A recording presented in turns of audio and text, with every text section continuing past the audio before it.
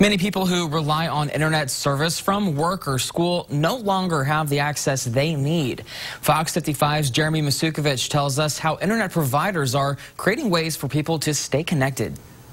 It's the people that don't have uh, reliable service or maybe any service. Keith Lenhart of Metronet says the COVID 19 shutdown has made it difficult for many households to reach the internet. It might be a situation where they've had, you know, two or three users in the household, and now everybody's online, you know, uh, all day long. Many who relied on internet access from work or school settings are all stuck at home together now. Metronet created a way for you to access Wi-Fi while still abiding by shutdown guidelines. If you are unable to access internet at home, Metronet has provided seven Wi-Fi hotspot locations across the state to give you access regardless of your internet provider. Throughout our marketplaces where it was uh, quickest and easiest for us to make this available so that people could, again, stay safely in their car and get close enough to our storefront to, uh, to register a signal and have reliable service. As you can see here, not many people took advantage of the free Wi-Fi today but they're hoping more will as word gets out. Other internet providers are also taking initiatives to ensure the community has internet access. Charter Communications is offering 60 days of free Wi-Fi access